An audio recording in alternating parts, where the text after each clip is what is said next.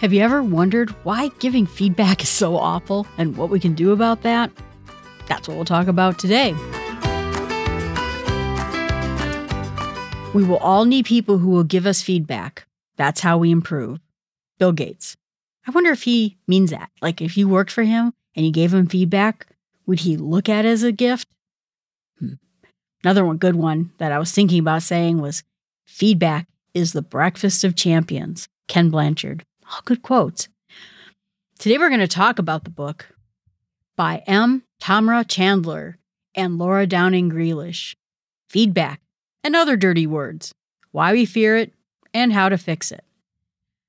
This is a interesting topic. I've always been a person who likes feedback, but like everybody, I can grouse out it too. It's sometimes hard to get feedback, but I recognize that other people providing feedback is how you get better. The book talks about how a lot of organizations try to do a good job with feedback, and almost all of them aren't very good at it. A lot of organizations look at feedback in this very traditional way. It's your performance review time. We're going to give you some feedback. Maybe we'll give you some goals, and then that'll be the end of your year.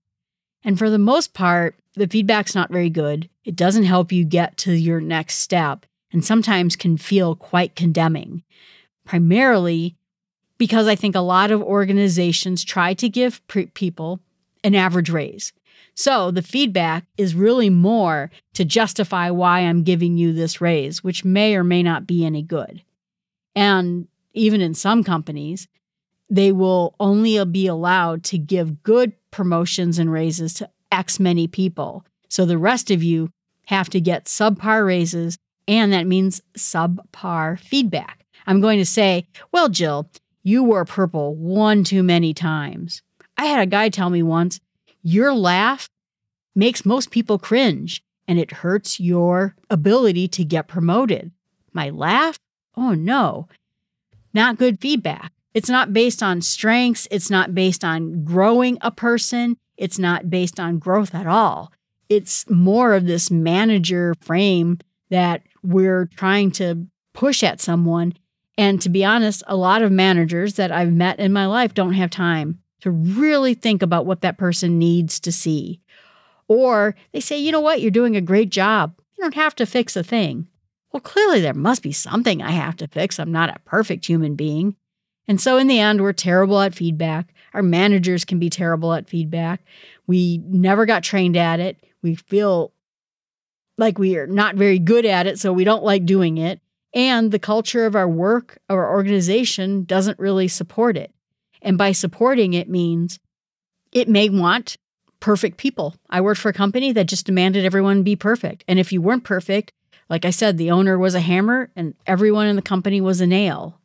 Maybe the feedback makes us feel worse, or the culture doesn't support it. So someone comes to me and says, Jill, you're doing a great job. We feel like you have to do a little bit better job on time management.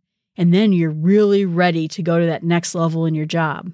And then you never get the next level in the job because the company itself doesn't support me going to the next level, or the culture doesn't support giving me the runway so that I could get better at my time management. Instead, it's just going to bury me and prove what a terrible time manager I am. Other people we're worried about will weaponize against us. If they're going for a promotion we want to say, they'll take that feedback, they'll take our strengths and weaknesses and use it to get a promotion or get something we want to get, or maybe we're not even trying to get it, but they're trying to prevent us from getting there. So, in every form of feedback, it's at worst demoralizing, two, useless, three, not thought out, four, can be used against us. We don't feel safe at work. And if we're going to create a system that has great feedback, we're going to have to tame those four things book says the first part is that we have to put fear in the rearview mirror. We have to get people away from being afraid if they got significant feedback. And we have to stop giving feedback as a problem. And you've seen that in companies. A lot of times, if you're a really good worker, you'll never hear anything. You won't hear good stuff, you won't hear bad stuff. Once in a while, you'll get a great job, Jill. Keep doing what you're doing. but you never get any feedback. And so then it becomes this issue that if someone says, Hey, Joe, can I talk to you in my office for a minute? Oh gosh, what did I do? Now it's depressing. It's fearful because now we know we're about to get feedback and it's not going to be good. The other side of it, too, is people who are the subject of the feedback can get mad. They might slam and walk out. So now the person giving the feedback is horrified. Or maybe the book says they'll just sit there and just simply shut down, not say a word, not look you in the eye, not do anything. So, how can we get away from feedback being negative? And the book says that basically no one's going to open up to anyone else when you feel like you're going to get, quote, poked in the eye. So we spend our entire work careers figuring out feedback is terrible and you don't want to get it. Try to do whatever you possibly can to avoid feedback. Even when we're young, he says it happened too. Teachers call you in, other kids say something to you, and that whole idea of feedback it becomes a negative one. So it gets worse and worse and worse, and the work world doesn't make it feel any better. They say it feels even ominous. And the annual review tells us that feedback is something that is hidden, it's done behind closed doors. We're going to hand you this document, probably shouldn't show it to anyone. You're going to quietly sign it, return it to me, and you just hope it goes for the best. I used to have people in my company come to me because our review system was kind of terrible and it only gave people very limited scores. Let's imagine a five point scale. So when you get a three on your performance review, to anyone who's an achiever or someone who's been at the upper echelon of the work or the school world, to you that means you got a C. Standard. You did the necessary things to do. So people would come to me and say, you know, I knocked myself out. I worked on this project. I worked on this. Pro- Why doesn't this company like me? Do you think I should go find another job? Because that three, you met your necessary requirements, is disappointing to anyone who has higher goals in life. You feel terrible about it. And so then I'd have to calm people down. No, that's unfortunately just our system. Three is what everyone is going to get unless you're the superstar who knocks it out of the park. Then you might get something more, but in reality, you're just going to get a three. It's depressing, especially like I said, if you are someone who did well in school, has done well in the work environment, and then you get a yes, you met the necessary requirements of this year. So I worked within the company to come up with a new system. We told the director of HR that people were thinking of quitting just because of the blah performance review they got, because it told them that they were average. So we came up with an actual amazing system that we were really proud of that actually got away from number scores and instead talked about skills, deficits in skills, and pluses in skills, and then had a list of skills that you should achieve in this job. So not only did you walk away from your performance review saying, oh, these things were great, this wasn't so great, but here's where I go next. We were so proud of it. And then my company got bought, and then that system went back to the five point system. And even worse, we're about to go to the three point system. So either you suck, or you're the most amazing human being on the planet, or you did okay, boo boo. Ugh, I just can't begin to tell you how demoralizing that is to everybody. And so now that whole feedback system gets even worse. So then people feel like they are not engaged in their job. They feel like they're not getting the proper kudos for the things they did that were great, the proper help that they need for the things that, that weren't so great, and they don't even have a direction to go. You did fine, boo boo. Just keep doing your job. Whew. So they said that their feedback method is to make it a good thing again, to make it a positive thing again, so that we know that it's the way we change and we get better to start getting rid of the pain, to stop getting rid of the ominous feeling to it, the worry that goes around it. And so that's what this book is all about giving good feedback. And so the feedback should not just be between the employer and the employee, it should be with the teller and the knower. And so in every organization, we're all going to switch places to be one of those things. And in order for this to work, we're going to focus on people developing instead of evaluating. That's the key part. We're going to start getting away from ineffective ways of making people feel subpar and start telling them what path they need to take to get better, what can lead them to success in this job or maybe success in the next job up. They said, quote, vitality is defined as a sense of being alive, passionate, and excited, while the learning is the growth that comes with gaining new knowledge and skills. That's what we want to feel on the job. We don't want to feel, well, I'm subpar or I'm average. We want to know that we're gaining skills, we're gaining advantages, we're becoming better. And the book also then tries to tell us not just how to give feedback, but how to ask for feedback. Boy, it's bad enough that you're going to give people feedback, but now you're going to go to someone and say, How do you think that went? And then they say that effective leaders show positive feedback and not just positive feedback in that was great, but positive feedback in meaning it was developing the people to be better at what they're doing. Positive doesn't just mean happy, it means effective. So we also have to get good at asking. In the end, they said that when we get feedback, it is supposed to be insights that will help us to grow, to thrive, to be better. We need to know what needs to be fixed. And we have to not feel like it's a threat, but feel like it's an opportunity to do something in a better way. They said, unfortunately, you know, we have three reactions usually to threats, and we learned that from, from the time we were living in the wild fight, flight, or freeze. I have a pet bird, and you can see it all the time. He either decides he's just going to let me put my hand in the cage, sometimes he's going to angle himself and he's going to try to take out my hand if I put my hand in the cage, or sometimes he just freezes and just pretends like, I'm not here, don't look at me. And instead of getting those responses when we get feedback, means we're going to have to also give up that. We're going to have to know that we have other reactions to it. We can appreciate getting feedback without the fight, flight, or freeze.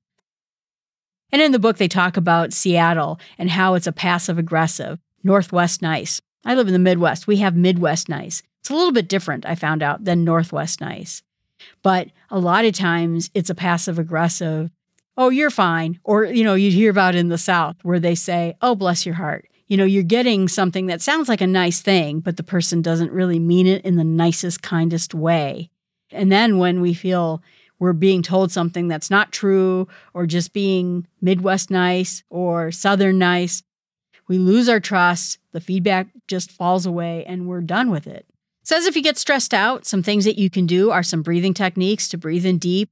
Try to feel the sensation of breath in your lungs warm, cold. You want to touch your ground, your feet to the ground so that you can feel it. Is it hard? Is it soft? Those types of grounding methods will help you just keep in the reality of the moment and not go to the fight, flight, or freeze moments. And we have to be aware too that when we're giving advice, things that are said in a more negative terms has a 20 times impact on us than things said in a positive term. So I'm doing a review with you and we're talking about this process and I say, "Well, you know what? You did such an amazing job on that project. It was so good. You know, I noticed a few spelling mistakes in the document, but overall, very good. As soon as that word, a few spelling mistakes, comes out, you're suddenly fixed on the negative. You can't get past it.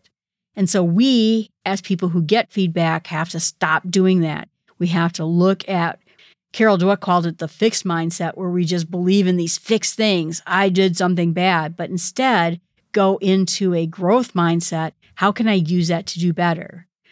You know, same thing for me. I've never been a very good writer. So, what did I do? I looked for ways to be a better writer. I took a writing course. That helped a lot. I did that through the university extension. The cost of the course was low. My company actually paid for it, and I learned a lot of things. Now, as I told you in the past, I'm starting to use Grammarly to help me out now that they have an AI, even more to help me write things in a better way. And so if you have a fixed mindset, you avoid things, you hear the negative, you feel threatened by everything you do. But when you go through the growth mindset, you look for challenges, you try to fix setbacks, you try to see past the problem you're having right now and make things even better. You're looking for inspiration and you're looking for success for other people. I think when you have that fixed mindset, you suddenly look at everyone as a competition. But a growth mindset says we can all do great together. And they say some ways you can get out of it is we talked about this in that past podcast the word yet. I can't do this yet. You don't know. You might try it and you might be great at it. There are things that I was pretty certain I'd be terrible at until I tried it. And then I found out I loved it. Public speaking was one of them. Or you can say, I've never been good at writing. Yet, there may be ways you can get better at it. So if you stop looking at the past and stop having this limited thought and start thinking about the possibilities of getting better, that's where you're going to start to improve. And they said that's an intentional switch to an improve mode instead of a failure mode. This is where they say we need a fresh start to get back to feedback. We have to take it back and make it something that's better, to make it something that is going to be useful to our companies, to our jobs, to ourselves. And they said that in the end, that feedback is a tool of communication grounded in trust and it's something that offers us insight to what we were doing and helps us move to something that's better. Instead, the past, the, the feedback that we're going to throw out, is an ominous weapon that's going to be used to us that we're going to distrust, we're going to be suspicious about, and then probably we're going to ignore or just feel rotten about it. That's what we're giving up. This is about us going into the future with insights, constructive advice, and being good at self reflection, that means you're going to take it seriously to figure out how you could do better. But that also means the teller of the advice has to tell it in such a way that it's not a punishment, it's not destructive, and they need to look at it as a way to help people do their best work. Everyone wants to do their best work in their job.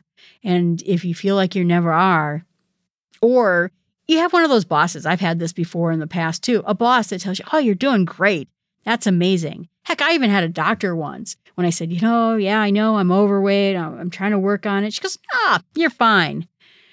Okay, that is not positive feedback you want from your doctor. It sounds like you might want that, but you know it's not true. So this has to be grounded in reality.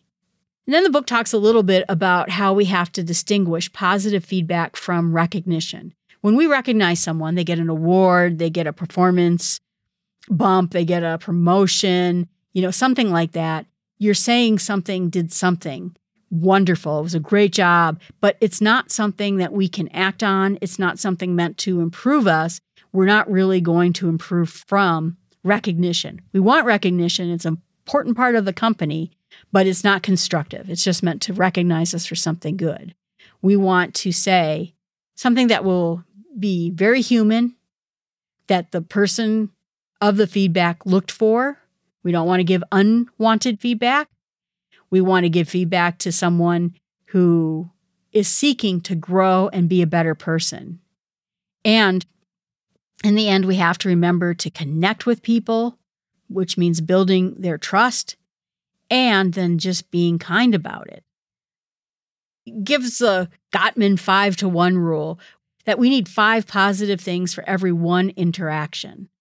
And that the three areas of feedback are fairness, focused, and frequency. We want to have all those things whenever we give feedback. It's important that we do it. And in the end, they said too, we have to look at our biases. You know, I'm someone who has an easygoing method with customers when I see people who bark at customers, maybe not bark, see, there's my bias right there, maybe are harsh with customers and, and says something to a customer that just wasn't as nice as I would have said something to the customer, my bias is to say, oh, you need to be a lot kinder. But you know what? I know people who are very kind, but very direct. And so I have to get away from my bias that someone can only hear something if that something is said in the most kind, soft way possible. It's not true in my own bias that things have to be said the way I want them to be said. There are very wonderful people out there who give great advice, who are very direct, and say very few words. So, in the end, we're hoping to just bring out that trust, humility, and showing someone else a perspective that maybe they're not seeing, giving them feedback so they know what kind of job they're doing. And there's a cute little chart in the book that basically says when feedback is never, it's not good. What we want to do is get regular feedback from just a few sources and make it in that positive, constructive way. If we feel like we're not getting what we're needing in feedback, we can ask questions. Can you tell me when you see me doing this? Or if I'm communicating in a way that is X, Y, and Z, could you point it out to me that day so I understand what it is I'm doing? Or can you share with me more details? When did you exactly notice what it was I was saying? Or can you explain to me how you think this has a bigger impact on other people? Like maybe my customer is not hearing me clearly because what I'm saying is not direct enough. You know, whatever it is, but ask good questions. A lot of podcasts I've done talk about asking good questions so that we understand what it is that person's saying. We have to understand that the person giving feedback has good intentions, as long as we believe they do. We want them to give us good examples. We want them to give things that we can act on, that we can think about our own growth. But it's also true that when we do these feedback sessions, it's important that we do it at the right time, in a good place, and we get feedback in the way we want to get feedback. Someone at my work started an interesting project. She was a project manager and she started Feedback Friday, where the idea was on Friday we would each give each other feedback. And I think it got off to a slow start. For a while, it started rolling in and started doing well. But unfortunately, what tainted the project is people felt that it was just a chance to do recognition. Hey, Bob, great job on your project. I thought you did a great job. No advice there on how to do better. But then when people did do constructive feedback, I think everyone felt uncomfortable about it. I think she's on the right target. I think she had the good idea of how we can give each other feedback and do a better job. I'm not sure she read the book, but she was right in line with what they're trying to do. We're trying to get that place where we do better in our lives, where we're looking at our future self who's doing something amazing because we got feedback. In the end, if you're feeling a little bit nervous about the feedback you're getting, make sure that you try to take it in, you stay neutral, ask for examples, and if you need a moment, maybe you're getting upset, but you know that they're doing it in the right way, just press pause, they said. You can ask to, can we take this up again tomorrow? I need to think a little bit about what you've said. Go get a glass of water, Diet Coke, whatever it is you're drinking, and just take a breather. Sometimes you have to understand that a lot of information in a short period of time can also be overwhelming, even if it's all the good things. And then in the end, acknowledge what you heard. I understand that you're saying I'm not telling the customer what is going wrong. I've been told in the past that I was too friendly with customers in the sense that I never told them the hard messages. I worked really hard at getting better at telling people the hard truth. Well, I suppose they could do it that way if they want. Now, Jill, you know if they do it that way, they're going to be unhappy with the software. Yeah, you're right. And so I got better at that. But it was through feedback that I became the person who could say hard things. So, my challenge to you is can you think of a place where you could start having regular feedback. I put it in the work world, it can be in the home world too, although you have to be really careful and again, build that trust in that sense. But when you give feedback to your family members, maybe your children or a spouse or a coworker, is there a place where you can open up a trusting, beneficial growth mentality between you and other people so that you can help them grow do better and start improving their lives, but also they are giving you feedback so then you could do the same. Think it over. Think of how feedback might be able to help you. You can always email me at jill at startwithsmallsteps.com. You can also reach me on Twitter. I'd love to hear how feedback has helped or changed your life or maybe some difficulties you have with it. I'm always happy to hear from you. Please remember to subscribe to the podcast and remember, Getting in a growth mindset so we can help each other do better starts with small steps.